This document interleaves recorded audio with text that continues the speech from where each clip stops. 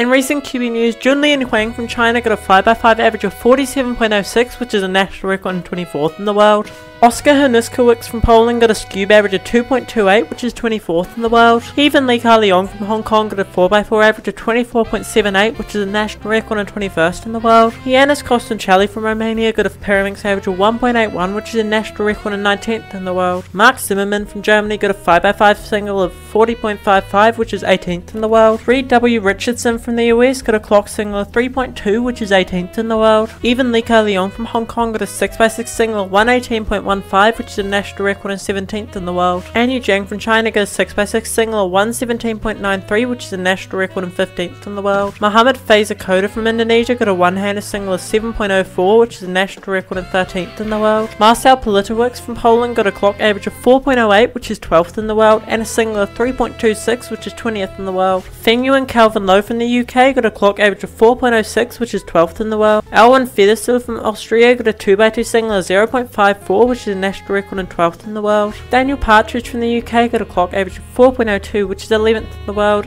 and a single of 3.32, which is 25th in the world. Simon Kellam from the US got a Pyraminx single of 1.03, which is 11th in the world. Radoslaw Marcinek from Poland got a 3x3 single of 4.05, which is 10th in the world. Eric Kasperek from Poland got a clock average of 4.00, which is 10th in the world. Ahmad Zahil Ajani from India got a Pyraminx single of 1.02, which is an Asian record and 9th in the world. Ryan Eckersley from the UK got a 4 by me a 148.66, which is a national record and 7th in the world. Martin Vaedele Egdal from Denmark got a Skewb average of 2.12, which is a national record and 7th in the world. Carter Thomas from the US got a clock average of 3.81, which is 5th in the world. Ziyu Wu from China got a Megaminx single of 25.97, which is a national record and 5th in the world. Tymon Kolasinski from Poland got a 3x3 single of 3.78, which is a European record and 4th in the world. Seunghyuk Nahm from South Korea got a 6x6 mean of 115.04, which is an Asian record and 3rd in the world. Sebastian Sebastian Weyer from Germany got a 4x4 average of 20.85, which is a European record and second in the world. Kyungkook Nam from South Korea got a 7x7 mean of 151.02, which is an Asian record and second in the world. Seunghyuk Nahm from South Korea got a 5x5 mean of 37.9, which is an Asian record and second in the world, and a single of 34.53, which is an Asian record and third in the world. Nicholas Arsen Eliasson from Norway got a clock average of 3.52, which is a European record and second in the world, and a single of 2.71, which is a European record and second in the world. Yi Heng Wang from China got a 2x2 average of 1.08, which is an Asian record and second in the world. And Anders Barhaugen from Norway got a clock of 2.83, which is sixth in the world, and an average of 3.55, which is third in the world, and would have been a world record without a cube drop. And with new cubes, the Diane Pro Megaminx has been released.